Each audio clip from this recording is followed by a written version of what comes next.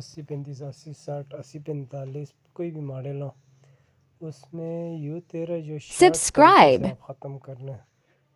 उसका वीडियो बनाया हुआ है। चेक कर लीजिएगा किस तरीके से ख़त्म हो जाता है।